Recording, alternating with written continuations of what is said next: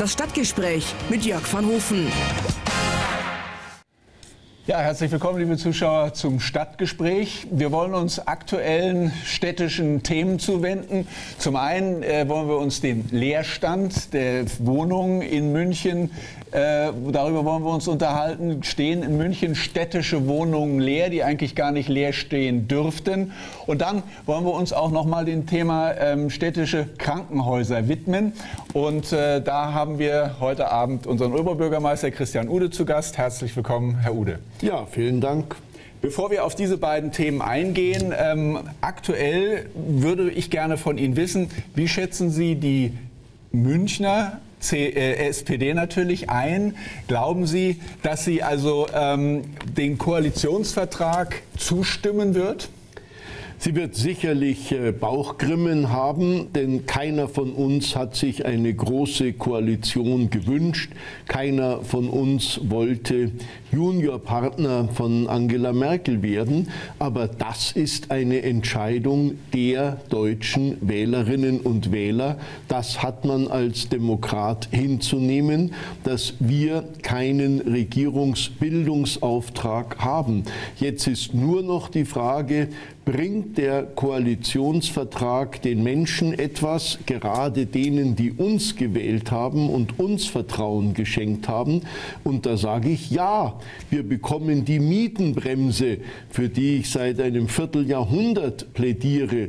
Wir bekommen den gesetzlichen Mindestlohn, von dem wir gesagt haben, das ist unser zentrales Anliegen auf dem Arbeitsmarkt. Wir bekommen Verbesserungen im Wohnungsbau, auch für die Städte und die Kinderbetreuung wird mehr Geld locker gemacht. Also ich wüsste überhaupt nicht, wie man ein Nein in der Sache begründen soll. Ich bin gerade mit Hans-Jochen Vogel hierher gefahren mhm. und äh, der hat noch einmal gesagt, es ist ja wirklich erstaunlich. Er hat den Vertrag natürlich von A bis Z gelesen. Mhm. Es ist ja wirklich erstaunlich, wie man bei einer Wahl mit 25 Prozent der Stimmen so viel in einem Regierungsprogramm durchsetzen kann. Der eine oder andere empfindet diesen äh, Vertrag als ähm, alt gegen jung, weil ähm, die, die Rente mit 63 ist jetzt möglich, wer 45 Jahre äh, eingezahlt hat. Und auf der anderen Seite ist es eben auch für Mütter, die ihre Kinder vor 91 bekommen haben, die kriegen auch mehr Rente. Ähm, wird zu wenig darüber nachgedacht, wie das alles finanziert werden soll? Also äh, natürlich sind teure Vorhaben drin, äh, wie zum Beispiel die Ausweitung der Mütterrente, die aber gerecht ist, weil jedem Stichtag ein wenig Willkür äh, anhängt. Und äh, natürlich kosten soziale Verbesserungen Geld, aber es kann doch keine Rede sein, dass das nur ein Vertrag zugunsten der Älteren ist, wobei Altersarmut ja ein schlimmes Problem in unserer Gesellschaft ist. Es werden Milliarden für den Ausbau der Kinderbetreuung äh, zur Verfügung gestellt und äh, es gibt eine stärkere Unterstützung der Familien. Also einseitig ist der Vertrag nicht. Teuer sehr wohl. Aber so ist das, wenn man soziale Leistungen ähm, gewähren will. Die fallen nie vom Himmel, die müssen immer auch bezahlt werden. Genau, und, und es kommt in einer Zeit, wo die Kassen eigentlich relativ gut gefüllt sind. Und die Frage ist also, wie lange diese Kassen so gefüllt bleiben. Und wenn man jetzt sozusagen diese Kosten noch weiter erhöht, dann denkt man vielleicht nur bis 2017. Aber darüber hinaus, und das kritisieren eben auch manche, dass es zu wenig Visionen gibt in diesem ähm, Koalitionsvertrag. Also was passiert mit der Umwelt? Ähm, wie müssen wir uns äh, anders verhalten? Wie Überbevölkerung? Da ist überhaupt äh, zu wenig äh, zu sehen. Also es ist sicherlich äh, kein Vertrag, der den Grünen sehr gut gefällt. Äh, so ist das eben, wenn man an einer Regierungsbildung nicht beteiligt ist, dann äh, kann man auch nicht seine speziellen Anliegen und Programmpunkte durchsetzen. Die SPD hat sich zur Regierungsbildung bereit erklärt. Sie konnte in Verhandlungen sehr viel durchsetzen. Deswegen ist dieser Vertrag erfreulich sozial real. Das wird sich grundlegend von der bisherigen schwarz-gelben Politik unterscheiden. Und die FDP sagt ja schon, es ist ein reines SPD-Programm. Das ist allerdings eine sehr einseitige Sichtweise. Natürlich hat sich die Union als größerer Partner zu einem größeren Teil durchsetzen können. Aber wie sollte es anders sein? Ja, viele empfinden das gar nicht so, weil, weil man den Eindruck hat, CDU und also Union und SPD sind sowieso schon mittlerweile so nah aneinander gerückt, dass da vieles äh, sowieso schon von vornherein mhm. identisch war. Ähm, aber gut, trotzdem würde ich ganz gerne von Ihnen noch mal wissen, was glauben Sie denn, wie es ausgeht? Also ähm, prozentual, wie viel also, Prozent? Wenn man ganz schnell nach dem Wahltag gefragt hätte, wollt ihr eine große Koalition? Dann hätte es sicherlich ein äh, überwiegendes Nein gegeben. Aber inzwischen sind ja die Mietervereine in Deutschland, die Gewerkschaften in Deutschland überrascht, wie viele ihrer Anliegen für die Mieter, für die Arbeitnehmer durchgesetzt werden konnten. Und äh, jetzt hat sich auch mancher Pulverdampf des Wahlkampfs verzogen und man prüft, äh, wie es politisch weitergehen soll. Und da gibt es jetzt nach meiner Einschätzung eine solide Mehrheit für diesen Koalitionsvertrag, weil man den Wählern doch nicht sagen kann, der Mindestlohn war für uns das Wichtigste, aber jetzt ist er uns wurscht. Und die Mietenbremse fordern wir seit 25 Jahren, aber jetzt ist sie wurscht. Jetzt ist nur wichtig, ob wir uns wohlfühlen dabei. Politik war nie eine Wohlfühlveranstaltung, sondern immer eine Aufgabe, die Verhältnisse für Menschen zu verbessern. Zu diesem Thema ähm, haben wir einen Hörer, einen Zuschauer. Herr Schmale, bitte stellen Sie Ihre Frage. Ja, Schmale, schönen guten Tag. Ich habe folgende Frage. Und zwar geht es darum, um diese 45 Jahre Beitragszahlung. So, danach ist also eine Rente ohne Abschläge möglich. Wir sprechen hier über Beiträge. Ich habe also insgesamt jetzt 48 Jahre geleistet, davon aber 18 Jahre freiwillige Beiträge als Selbstständiger in die deutsche Rentenversicherung eingezahlt. Meine Frage ist jetzt, weil sie definieren Beiträge, ob das auch als solcher bewertet wird. Also da haben Sie mich jetzt ganz am kalten Fuß erwischt, weil ich Ihnen die Frage nicht zuverlässig beantworten kann. Ich war ja selber etliche Jahre ein Selbstständiger, der freiwillig weitergezahlt hat. Aber ich kann Ihnen keine Rechtsauskunft geben. Wenn Sie dem Sender Ihre Telefonnummer hinterlassen, bekommen Sie morgen die Antwort. Ich denke, dass jedes Beitragsjahr freiwillig oder pflichtversichert gleich behandelt werden muss. Okay, dann ähm, widmen wir uns unserem ersten mhm. Thema, und zwar den Leerständen in äh, München. Und dazu wollen wir uns einen Beitrag anschauen. Unter idyllischem Wohnen stellen sich viele Münchner sicherlich etwas anderes vor. Jedoch wahr ist auch, diese zwei Wohnungen in der Ebersbuschstraße in Allach stehen seit 1985 und 2001 leer. Unter Umständen will das zuständige Kommunalreferat das Gebäude abreißen und das Grundstück verkaufen. Allerdings ein Teil des Gebäudes steht unter Denkmalschutz. In der Eversburgstraße 155 gibt es gar keine Wohnungen mehr. Da gibt es schon seit dem Jahr 2002 ein sogenanntes Negativattest. Das heißt, diese Räume gelten nicht mehr als Wohnungen und können auch als Wohnung nicht mehr vermietet werden. In diesem Fall gibt es eine Reihe von Anträgen aus der Bürgerschaft, aus dem Bezirksausschuss, die im Ergebnis auf eine kulturelle Nutzung dieses Anwesens hinauslaufen. Paradox. In einer Stadt, in der Wohnraum ein Vermögen kostet, stehen Wohnungen leer. Studenten und arme Familien suchen händeringend eine Bleibe. In der Goyerstraße sollen 14 Wohnungen seit mindestens 2010 leer stehen. Erst jetzt sollen sie saniert werden. Also es ist ein völliges Verwaltungsversagen der Stadt München, dass sie über Jahre keinen Überblick über Immobilien, über Wohnungen, über Grundstücke hat und äh, es dauert viel zu lange, bis wirklich da die richtigen Entscheidungen getroffen werden. Mit diesem Video im Internet beweisen Aktivisten, wie eine Wohnung in der Müllerstraße kostengünstig nutzbar gemacht werden konnte. Die Stadt reagierte dieses Mal prompt. Ja, wir haben jetzt in der Müllerstraße 6 zum Beispiel mit äh, einfachsten Maßnahmen eine Unterbringung von äh, von Wohnungslosen durch das Sozialreferat äh, hingebracht. Das ist so nicht ganz einfach. Das sind keine Wohnungen, die man auf dem freien Markt vermieten kann, aber immerhin sind diese Räume jetzt gut genützt.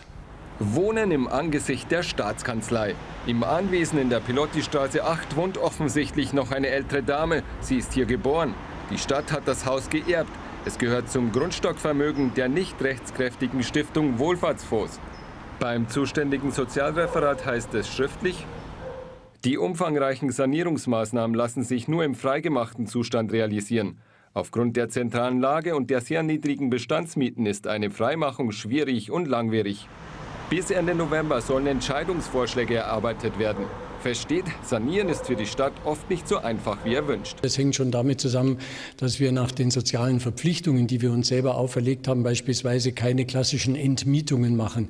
Die Stadt, wenn sie ein Haus leerräumen muss, um zu sanieren, um eine Komplettsanierung zu machen, ähm, wird Mieter nicht einfach vor die Türe setzen, sondern wird immer sich erst bemühen, dass ähm, äh, Ersatzwohnung geschaffen wird und dass man im Einvernehmen mit den Mieterinnen und Mietern eine Umsetzung macht macht, das dauert sehr viel mehr Zeit. Private tun sich da sehr viel leichter als wir. Helfende Gorillas scheinen da leider nur gelegentlich Früchte zu tragen. Seit es dieses Video gegeben hat, hat sich was getan. Das heißt, es sind 174 Wohnungen ungefähr in München, die leer stehen. Um es einfach mal von vorne aufzurollen, wer hat es verbockt? Also so einfach ist es nicht. Es sind äh, Sündenfälle passiert und äh, einige haben wir gesehen, äh, gerade die Piloti-Straße, das will ich in keiner Weise beschönigen, aber man muss zunächst mal klarstellen, leerstehende Wohnungen hat es immer gegeben und wird es immer geben und zwar aus zwei Gründen. Einmal, weil der Mieter wechselt, da muss der Vermieter die Wohnung wieder herrichten, die Schönheitsreparaturen leisten, bei uralten Mietverhältnissen sogar noch die Leitungen unter Putz legen oder das Badezimmer neu kacheln. Und äh, dieser Leerstand ist absolut nicht zu beanstanden. Der führt aber manchmal zu den hohen Zahlen. Und der zweite wichtigste Grund ist, dass bauliche Maßnahmen bevorstehen. Also wenn ein Haus baufällig ist und abgerissen werden soll, dann äh, machen wir keinen Kündigungsprozess und äh, keine Zwangsvollstreckung, sondern wir versuchen für jede Mietpartei eine Ersatzwohnung zu finden, die angeboten wird, was sich endlos lange hinziehen kann. Mhm. So, das sind die Fälle, die ich absolut verteidige und das ist die große Masse. Und jetzt kommen die Fälle, die wirklich ärgerlich sind, die nicht äh, zu rechtfertigen sind, wo sich das jahrelang hinzieht, ohne dass etwas passiert. Da würde ich sogar Herrn Matar zustimmen, da liegt Verwaltungsversagen vor. Und wenn wir jetzt mal in die Verwaltung reingucken, wo liegt da Versagen vor? Das ist auch wieder unterschiedlich, nicht bei den Wohnungsbaugesellschaften, die ja eine große Erfahrung haben und äh, durchaus äh, handlungsfähige Hausverwaltungen, die auch viele Baufirmen und Handwerksbetriebe bei der Hand haben. Und wir haben ja vor einigen Jahren beschlossen, den gesamten Wohnungsbestand bei den Wohnungsbaugesellschaften zusammen. Wir haben daneben aber eine Zuständigkeit gehabt des Kommunalreferats für die unmittelbar der Stadt gehörenden Wohnungen. Und da gab es die geschilderten Einzelfälle, die sich lange hingezogen haben. Und wir haben eine städtische Stelle, die sich besonders schwer tut.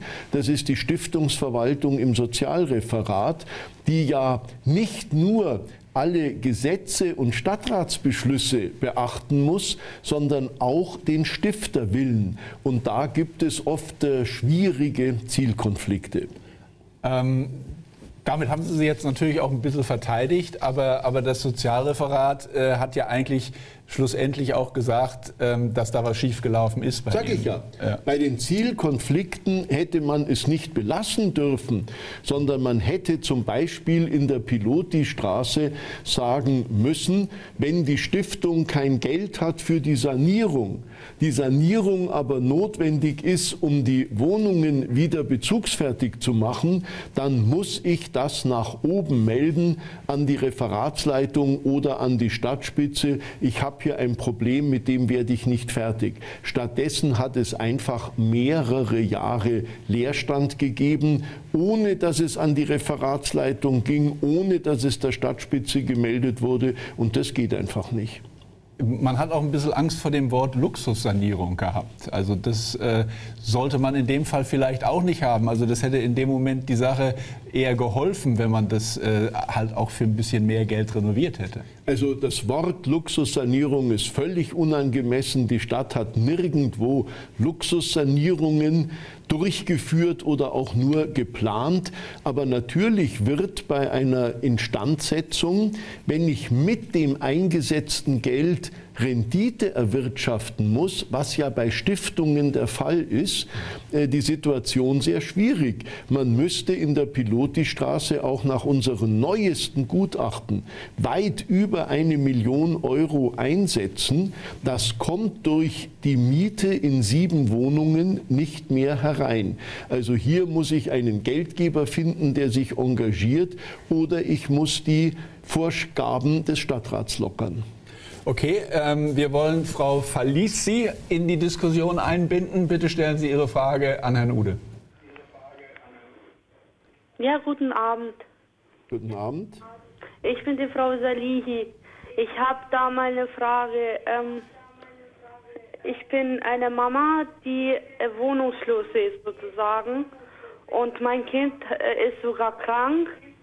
Der hat Möbius-Syndrom und seit zwei Jahren warte ich auf eine Wohnung. Und ich habe nichts bekommen. Und ich wohne mal da, mal da. Und äh, das große Problem ist, äh, wo ich wohne, mal beim Schwager, mal bei meiner Mama, ist alles Schimmel und äh, die Wohnung ist sehr klein.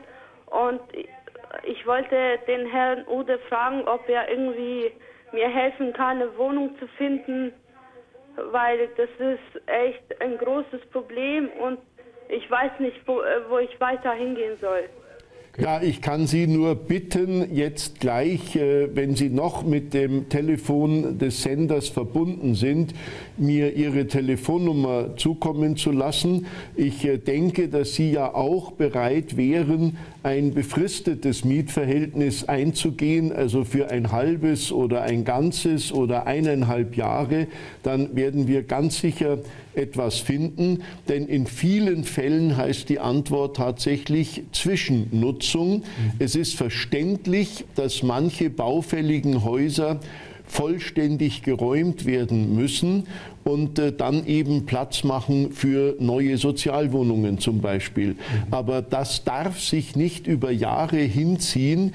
Wenn es aber absehbar ist, dass es noch ein, zwei Jahre dauert, dann kann man eine Zwischennutzung aufnehmen. Okay, wir haben noch eine Anruferin, Frau Nowak, wenn ich den Namen richtig verstanden habe. Ja, Bitte, haben Sie richtig Sie verstanden. Ja, meine Frage ist, die geht da hinaus, äh, dass es heißt äh, äh, Mindestlohn. Ah, wir sind äh, gut, wir sind schon ein Stück weiter, aber stellen ja. Sie Ihre Frage. Ja, ähm, wie sollen wir in München noch die Wohnungen bezahlen, wenn es 8,50 Euro ist? Hallo, der Quadratmeter kostet 11,20 Euro mindestens. Also die teuren Wohnungen belasten natürlich viele Münchner. Ja, also deswegen ist es ja so wichtig, dass es Wohnungsangebote gibt für äh, Menschen mit geringerem Einkommen. Da kümmert sich die Stadt selber drum. Wir haben 60.000 städtische Wohnungen, die nach einem sozialen Mietenkonzept äh, vermietet werden. Wir versuchen, diese städtischen Bestände aufzustocken und äh, das gelingt auch. Wir kaufen jetzt auch Wohnungen dazu und wir bauen wie seit vielen Jahren nicht mehr, um die Wohnungsbestände zu erhöhen. Und außerdem hat gerade der Koalitionsvertrag jetzt äh, auch eine verstärkte Unterstützung des sozialen Wohnungsbaus und des äh, genossenschaftlichen Wohnungsbaus beschlossen. Wenn das in die Tat umgesetzt wird, dann kann man auch mit verstärkter Neubautätigkeit rechnen. Und zwar gerade für untere Einkommensgruppen. Äh, jemand, der auf den Mindestlohn äh, noch wartet, weil er weniger verdient, der kann sich tatsächlich auf dem frei finanzierten Wohnungsmarkt äh, nichts leisten. Ähm, lassen Sie uns noch einmal kurz zu dem Sozialreferat zurückkommen, mhm. wo also jetzt wirklich erkannt worden ist, da ist ein Fehler passiert. Inwieweit wird denn da jetzt von Ihnen Druck ausgeübt, dass sich da was verändert, dass da jetzt auch Dinge vorangehen?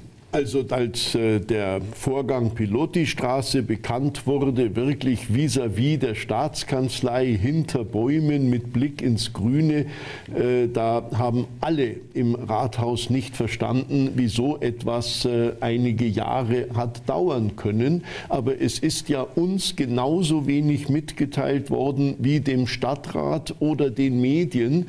Wir haben es alle in den vergangenen Jahren nicht gewusst, sondern erst in diesem Jahr erfahren. Äh, hier äh, brauchen wir ganz schnelle Antworten, die habe ich schon Anfang März angeordnet. Wenn kein baldiger Baubeginn absehbar ist, dann muss es versucht werden, Zwischennutzungen zustande zu bringen. Und das wird zum Glück jetzt auch praktiziert. Jetzt gab es noch weitere Vorwürfe, dass also bekannt war, dass äh, Wohnungen leer gestanden haben und dass die Stadt sich da in einer Art und Weise verhalten hat, wie man es eigentlich gar nicht darf. Und dazu wollen wir uns kurz einen Beitrag anschauen. Komm einfach ganz kurz mal in unsere Wohnung rein. Ein bisschen Schleifen hier, ein bisschen Farbe da und das Ding sieht wieder schöner aus als ein Kasten aus Glas und Stahl. Prominente Aktivisten sorgen für Bewegung auf dem Münchner Wohnungsmarkt. Leerstehende Wohnungen in der Landeshauptstadt, das ist doch paradox.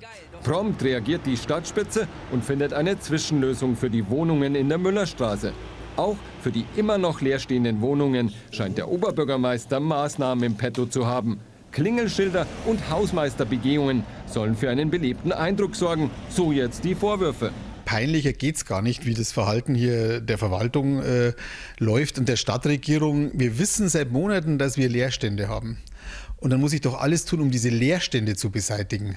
Aber nicht, um Klingelschilder zu putzen und den Eindruck zu erzeugen, da würde noch jemand drin wohnen. Das ist wirklich Täuschen tarnen und vernebeln. Bei der Durchsicht des Protokolls ist mir eben aufgefallen, dass eben mehrmals das Wort entsprechend drin stand. Und wenn man den, die Diskussion nicht verfolgt hat, dann kann man einfach nicht wissen, wie das entsprechend gemeint ist. Es ist Auslegungssache.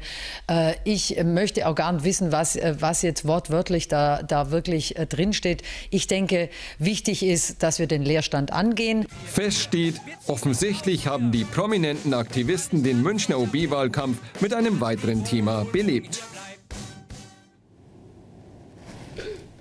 Herr Ude, haben Sie angeordnet, dass die äh, Klingelschilder sauber gemacht werden, dass der Eindruck also, von außen entsteht, das dass ist, jemand drin wohnt? Das ist wirklich unglaublich, wie der CSU-Kandidat Josef Schmidt die Tatsachen ins glatte Gegenteil verkehrt. Wie ich wirklich agiere, ist ja allgemein bekannt. Wir haben die Wohnungsleerstände bekannt gegeben und zwar im Februar. Wir haben Transparenz hergestellt und nur deshalb konnten sich Protestgruppen einzelne Wohnungen vorknüpfen, was sie Gott sei Dank getan haben.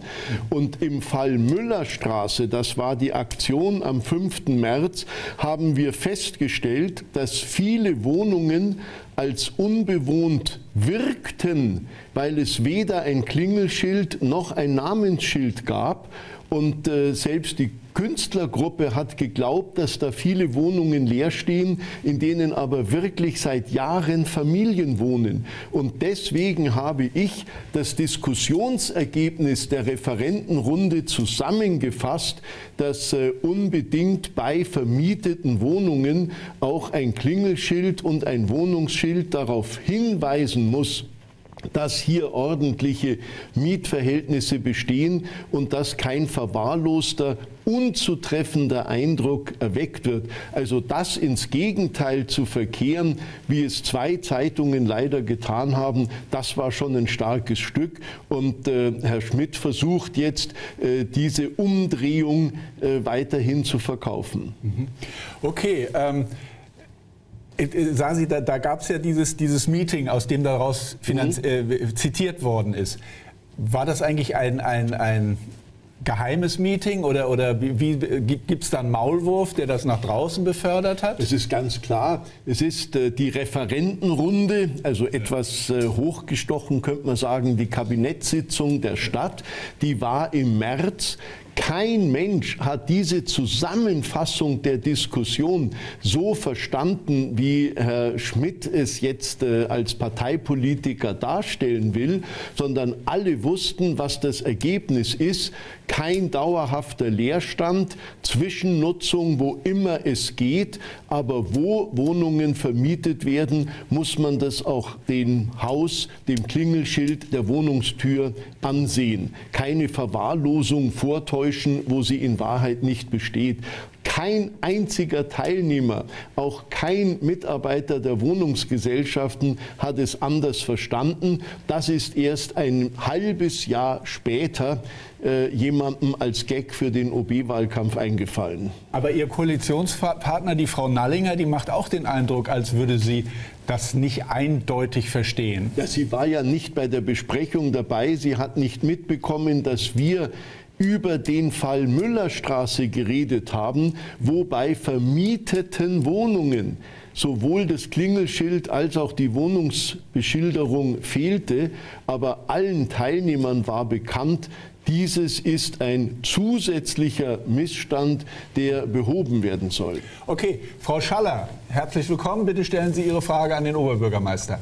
Herr Ude, eine Frage zu leerstehenden Wohnungen. Also ich kann es nicht nachvollziehen, dass man Häuser verkommen lässt und dann teures Geld investiert, dass man diese, diese leeren Wohnungen oder Häuser nicht an die wirklich in Not stehenden Studenten und Studentinnen und Auszubildenden äh, zu günstigen Preisen vermietet, damit diese Häuser nicht herunterkommen.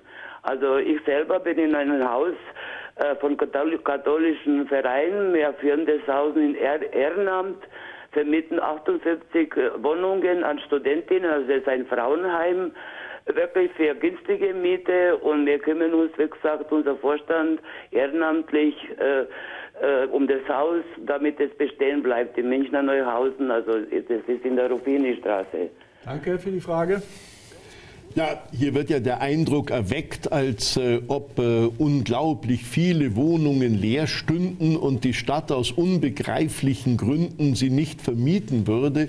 Ich sage es noch einmal, die Stadt besitzt 60.000 Wohnungen mit steigender Tendenz, die alle vermietet werden zu günstigen Bedingungen.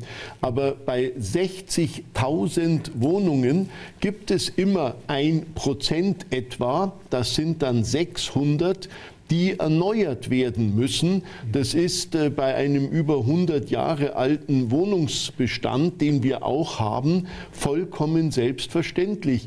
Und wenn ich ein Haus wie zum Beispiel dieses kleine zwei Familienhaus, das gar nicht mehr bewohnbar ist, durch sozialen Wohnungsbau ersetzen will, dann muss das Haus leer sein. Und wenn ich einen Altbau mit völlig neuen Steigleitungen, mit neuen Elektrokabeln, äh, mit neuen Sanitäreinrichtungen, äh, vielleicht auch korrigierten Grundrissen umbauen will, muss das Haus leer sein. Hätten wir da noch drei Mietparteien drin, hieße es, jetzt vergrault auch die Stadt ihre Mieter und behandelt sie schikanös. Auf der Baustelle kann man nicht leben. Also einen Leerstand wird es immer in diesem 1%-Bereich geben, bei jeder privaten Wohnungsgesellschaft übrigens genauso. Schlimm und unverzeihlich ist es nur, wenn der Leerstand nicht ein Jahr bis zur Sanierungsmaßnahme dauert, sondern sich jahrelang hinzieht. Und da stimme ich den Kritikern zu, das darf nicht sein. Aber da reden wir über ein paar Dutzend Wohnungen in München und nicht über Hunderte oder Tausende, genau. wie ich bei der öffentlichen Diskussion manchmal den Eindruck also habe. Goldgrund spricht ja maximal von 175 und da werden ja. sicherlich auch viele dabei sein, die ja. Sie erwähnt haben, die also dann auch renoviert werden. Mhm. Ähm, wir haben noch eine, eine äh, Anruferin, Frau Bofka, wenn Sie bitte Ihre mhm. Frage stellen würden. Ja, guten Abend, vielen Dank. Ähm, äh, wir wohnen in Allach unter Menzing, mhm. wo es ja bekanntlicherweise viele junge Familien mit Kindern gibt. Mhm. Und wir würden sehr gerne ein, äh, wir würden sehr gerne ein, ein, ein, ein, Haus bauen. Wir haben einen riesengroßen Garten, den wir nicht äh, brauchen. Wir wohnen hier in einem Einfamilienhaus und äh, wir könnten das Haus wunderbar an eine junge Familie vermieten äh, mit drei oder vier Kindern. Und vor allem würden wir gerne äh, im Garten ein Haus bauen für mich und meine Tageskinder. Ich bin nämlich Tagesmutter hier in mhm. München, in Allach unter Menzing. Und es weiß ja jeder, dass äh, sehr viele Kindertagesplätze gesucht werden. Und ich kann fünf Kinder aufnehmen. Äh, ich bin hier ein bisschen ja, eingeschränkt und wir würden gerne bauen, aber leider wird der Bau durch den, diesen Gummiparagraphen 34 verhindert. Wir hätten eine wunderbare Einfahrt, also man könnte hier fantastisch äh, bauen für eine junge Familie und für mich und meine Tageskinder. Und ich wollte Sie fragen, Herr Ude, an wen wir uns wenden können, äh, dass diese Baugenehmigung äh, erteilt werden kann. Also ich kann jetzt hier keine Genehmigung aus dem Ärmel schütteln, ohne die Sachlage genau zu kennen aber Sie sind bei mir schon an der richtigen Adresse. Schreiben Sie mir einfach Christian Ude Rathaus genügt und äh, dann werde ich sehen, was sich hier machen lässt. Interessanterweise wird ja die Stadtverwaltung nur aus dem entgegengesetzten Grund kritisiert, dass sie angeblich bei Paragraph 34 Baugesetzbuch, das ist die Bau äh, Bebauung der Umgebung, die Maßstab ist für ein einzelnes Grundstück, das sich in dieser Umgebung befindet, dass sie da viel zu großzügig sei. Deswegen gibt es doch die Bürgerinitiativen äh, gegen Baurecht gegen Verdichtung, weil der grüne Charakter der Umgebung erhalten werden soll.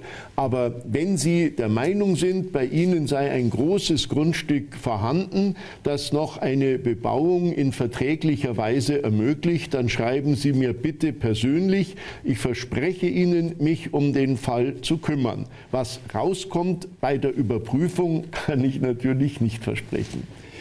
Also was man wirklich also feststellt, ist, dass die Sensibilität gerade in unserer Stadt gegenüber leerstehenden Wohnungen ungeheuer hoch ist. Also in anderen Städten, da stehen viel mehr Wohnungen leer und die würden sich freuen, wenn sie unsere Situation hier in München hätten. Aber da wiegt eben eine Wohnung hier in München so viel wie, ich will das jetzt nicht beziffern, aber deutlich schwerer ja. als in einer anderen Stadt. Liebe Zuschauer, wenn wir zurückkommen, dann wollen wir uns noch mal den städtischen Krankenhäusern widmen, wo sich doch jetzt äh, große Veränderungen äh, abzeichnen.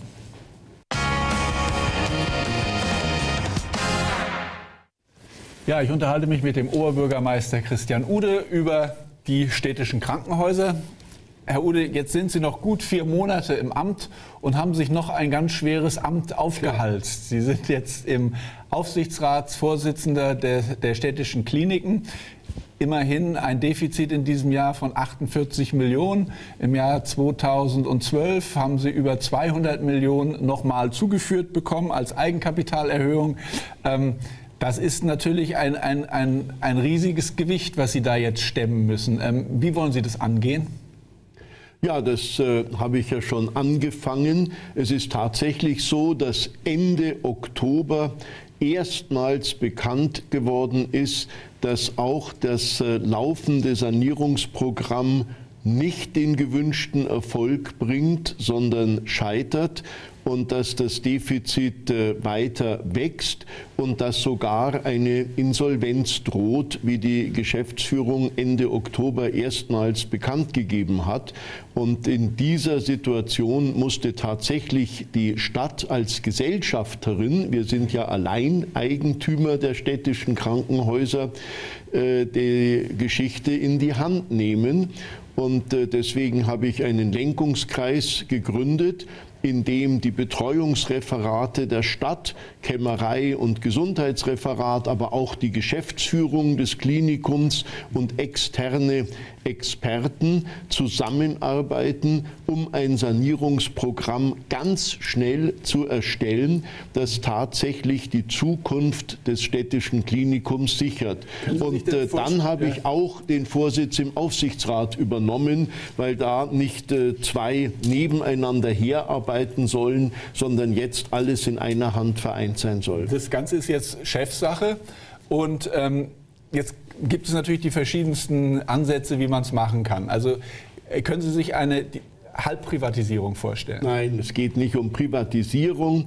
Es geht äh, darum, dass äh, das äh, Klinikum ganz schnell die Insolvenz abwenden muss und dass es eine Perspektive braucht, in Zukunft wieder schwarze Zahlen zu schreiben, weil wir nur dann städtisches Geld zuschießen dürfen.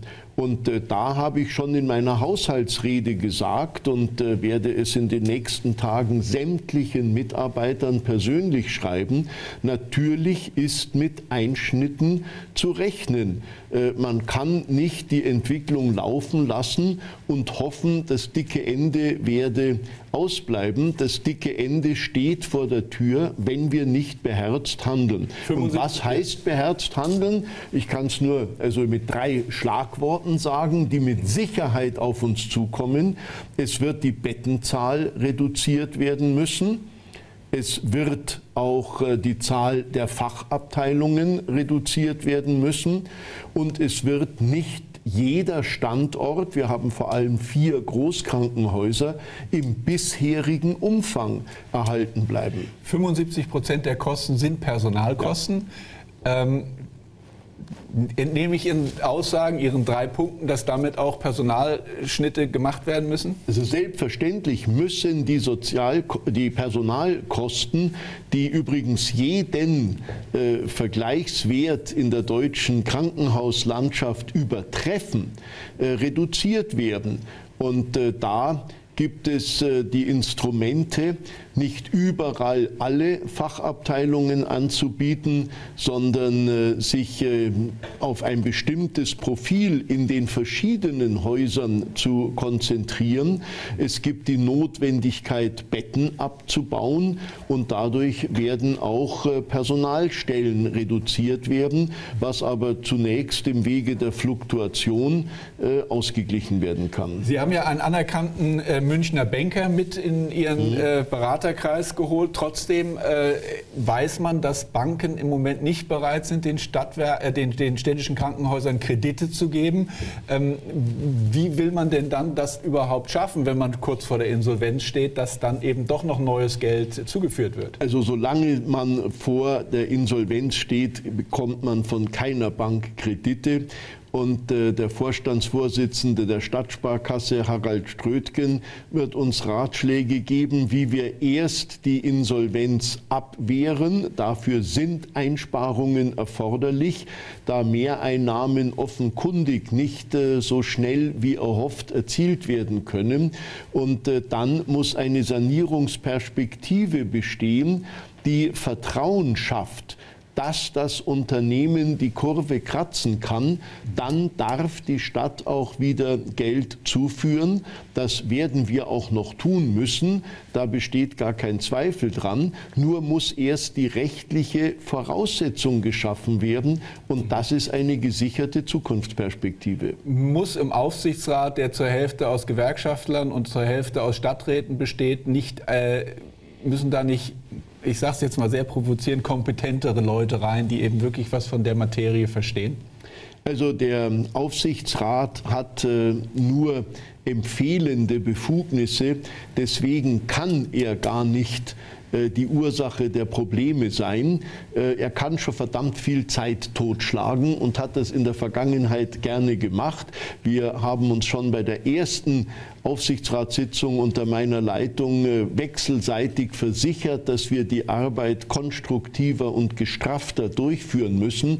Aber man soll die Verantwortung nicht beim Aufsichtsrat ähm, abladen, denn der hat gar nicht so viele Entscheidungskompetenzen. Äh, wichtig ist, dass wir im gesamten Klinikum, das erfordert aber die Mitwirkung aller Chefärzte und aller ja. Betriebsräte und natürlich der Geschäftsführung, den Kulturwechsel schaffen. Jetzt ist das Hauptziel die Sanierung nicht die Besitzstandswahrung. Da die Entscheidungskompetenz ja ganz wichtig ist. Ja, haben Sie mhm. natürlich recht, der Aufsichtsrat ist nicht die letzte Entscheidungsinstanz, mhm. es ist der Stadtrat. Und gibt das nicht äh, denjenigen, die sagen, äh, ich meine, im Stadtrat sitzen ja nun auch nicht die kompetentesten Mediziner. Ähm, dass man sagt, es müssen eben kompetente Leute sein und deshalb eben doch private Leute mit reinholen, die, die entscheiden, wie die Vorgänge abzulaufen also haben. Selbstverständlich äh, will ich so viel Kompetenz einbinden, wie verfügbar ist. Die nächste Kompetenz, die in den Lenkungskreis der Stadt aufgenommen wird, wird eine hochkarätige medizinische Kompetenz sein. Übrigens auf Vorschlag von Professor Hennis, der ja auch in der Geschäftsführung eine große medizinische Kompetenz einbringt.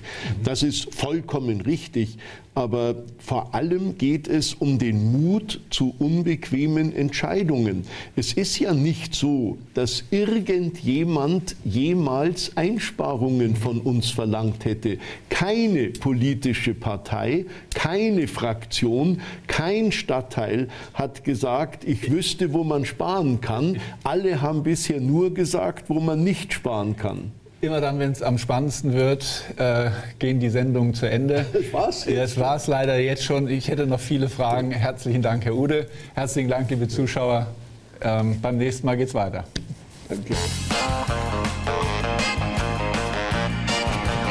Das war das Stadtgespräch mit Jörg van Hofen.